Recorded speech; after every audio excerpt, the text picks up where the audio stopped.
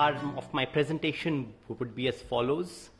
I'll just give a brief overview on the data of metastatic cancers upfront, introduction to metronomic therapy, and our data on metronomic therapy in refractory cancers.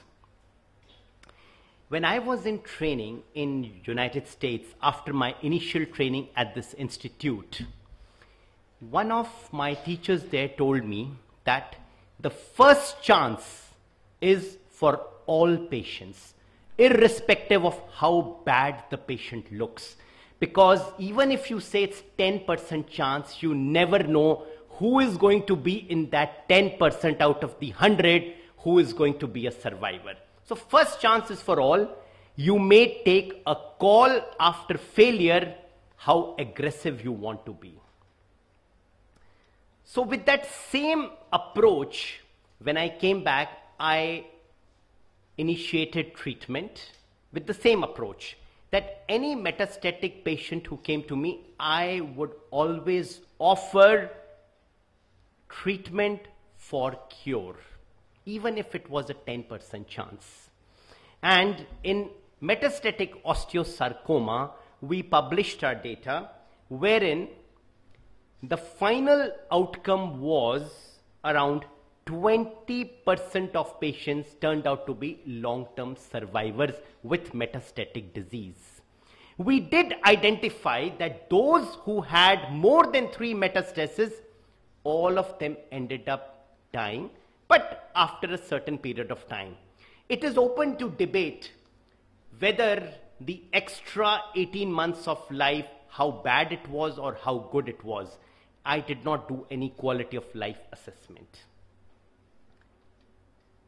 So if you look at patients who had less than three or up to three metastases, their overall survival was nearly 45 to 50 percent.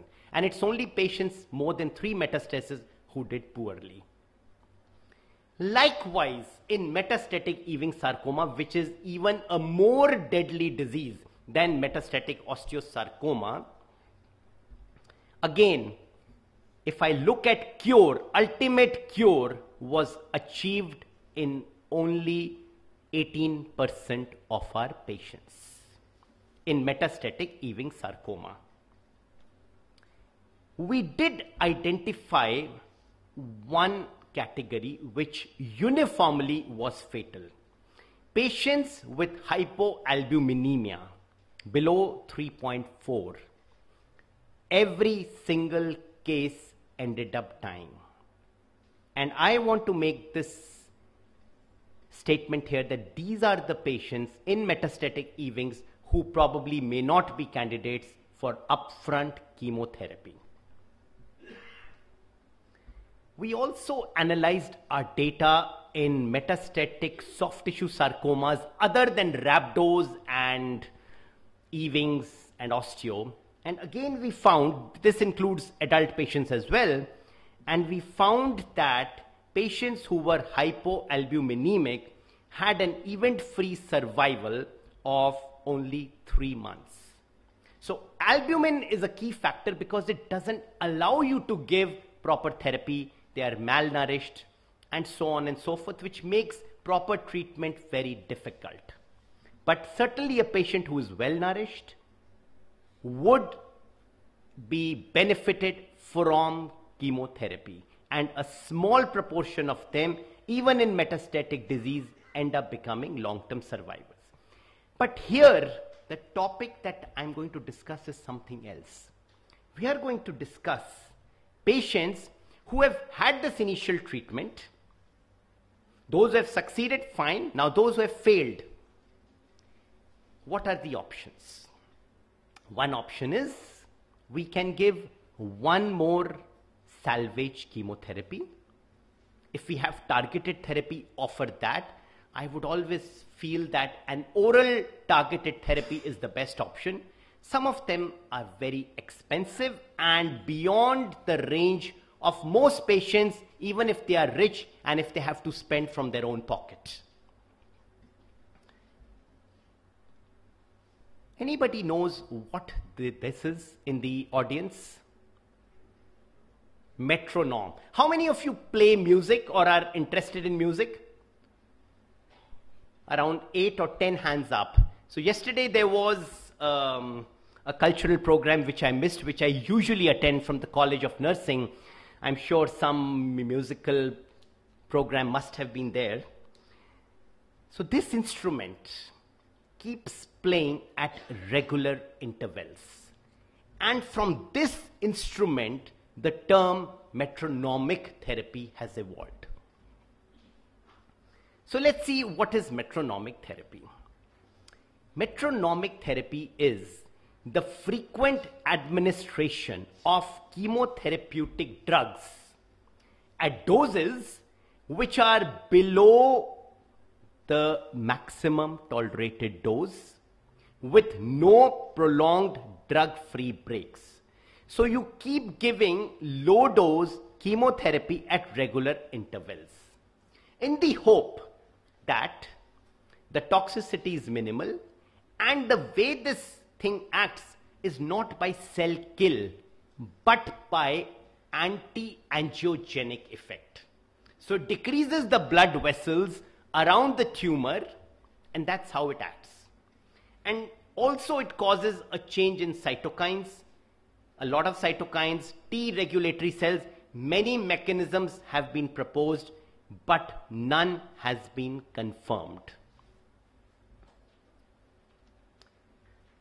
When I say metronomic chemotherapy, it means I'm only using metronomic chemotherapy. But in real world, a better term is metronomics because we combine with chemotherapy many non-anti-cancer drugs as well.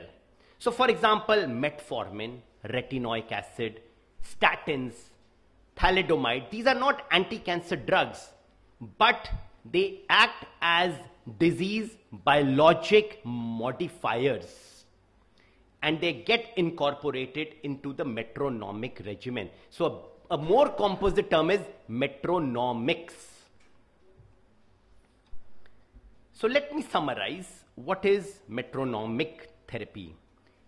Frequent administration of drugs, not three weekly or six weekly as we generally do. No prolonged inter interruptions. Using a biologic optimized dose. No application of growth factors. Preference for oral drugs and hoping that there are low incidence of treatment related side effects. But let me tell you, every review or every meeting of metronomic ends with a question that we should do a randomized trial and see if it works or not. That's the end of every meeting and every review article. I also want to tell you that sometimes when we give metronomic or any therapy, any treatment to some patient and who does well, we remember, we publish. We forget patients who have got the same treatment and have died. They go into our background memory cells. Only the ones who have done well, they stay alive. Because they are alive, they come and they stay alive in our mind. But the real answer only comes when you randomize the same population into two arms and get an answer. We took this work at our center and we thought we'll answer it. We did not agree with empiricism and we thought we'll answer this question with conviction.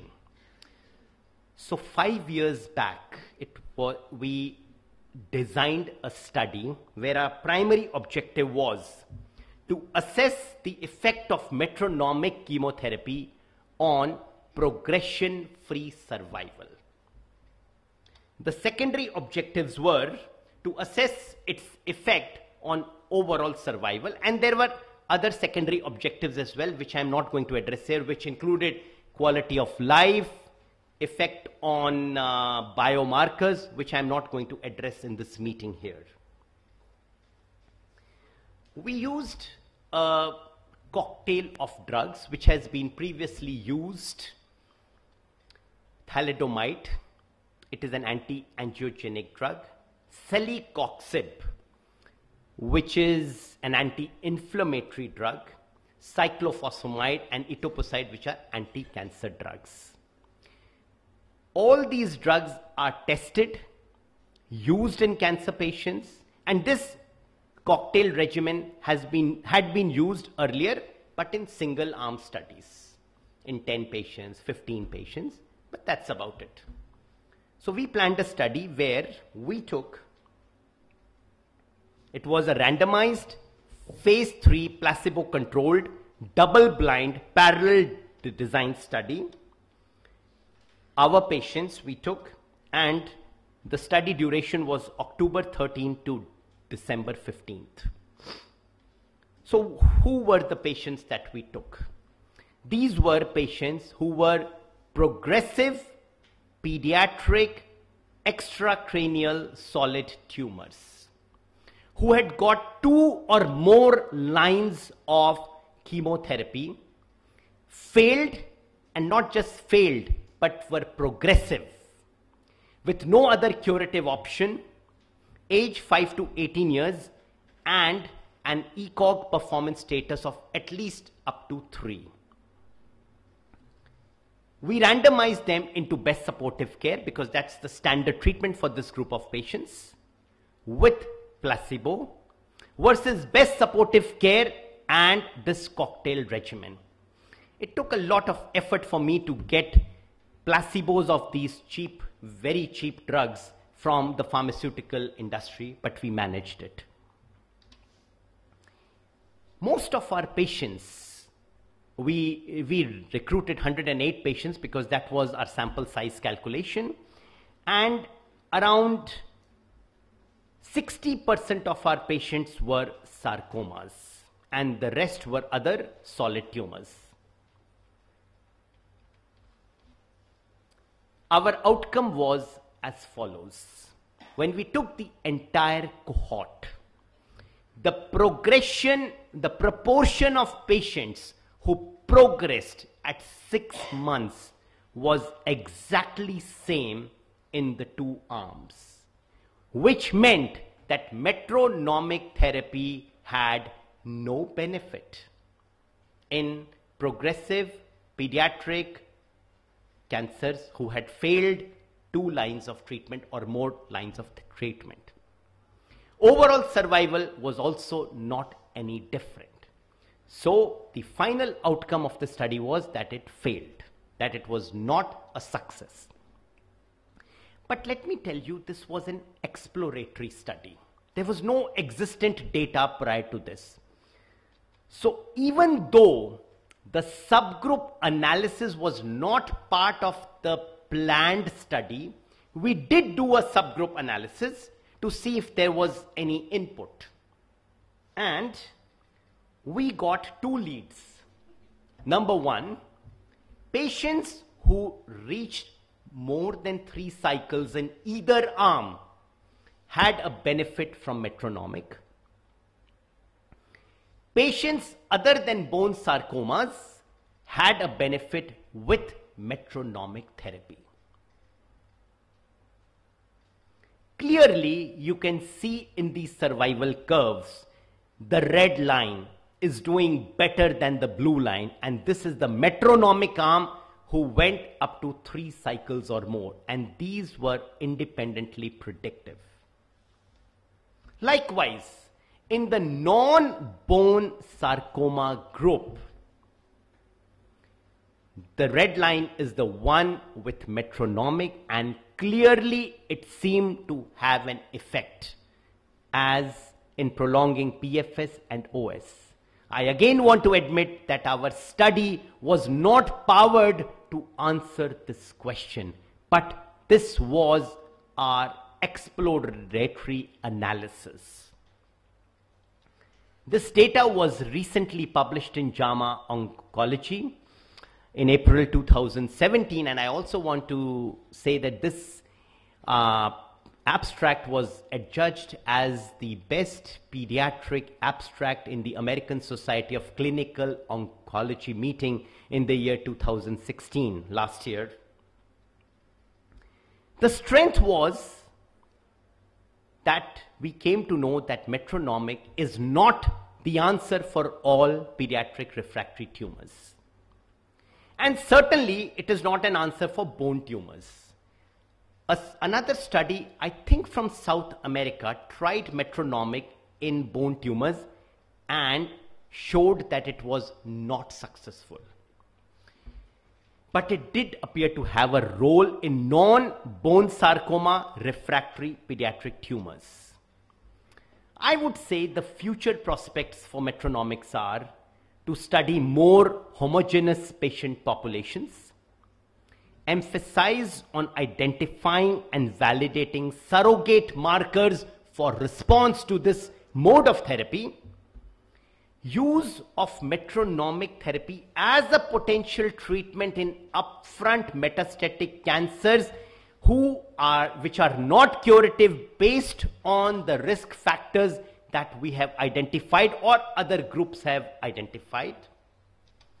But i want to emphasize let not empiricism rule us solve the puzzle by randomized trial and not just believe data when people just say that it works or it doesn't work. I want to acknowledge my team. Um, I don't know how to point this out. There's a pointer here. Oh, okay. Dr. Raja is a faculty with us and he was a DM resident when this work was done. I want to acknowledge him. Dr. Atul Batra works with me as well, and he was also instrumental in planning this study when he was a DM resident. These are all some of my nurses, my PhD students, some of the residents who continue are doing, who do and have done previously research work with me. And I want to thank All India Institute where I work, which gives me the ability to see all these patients and do all this work. Thank you very much.